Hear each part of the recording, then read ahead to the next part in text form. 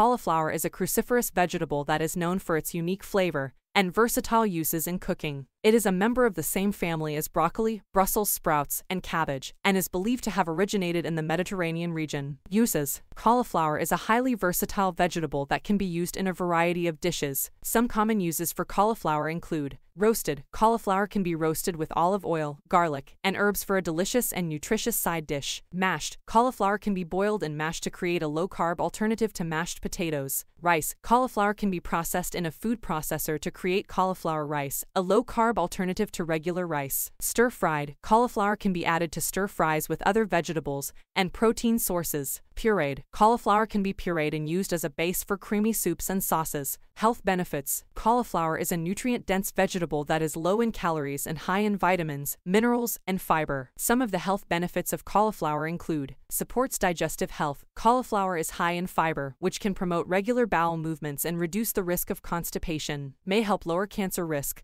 Cauliflower contains compounds that may help protect against certain types of cancer, including colon, breast, and lung cancer. Supports heart health. Cauliflower is high in antioxidants and may help reduce inflammation and lower the risk of heart disease. Supports brain health. Cauliflower is a good source of choline, a nutrient that is important for brain health and may help improve cognitive function. Supports bone health. Cauliflower is a good source of vitamin K, which is important for bone health and may help reduce the risk of osteoporosis.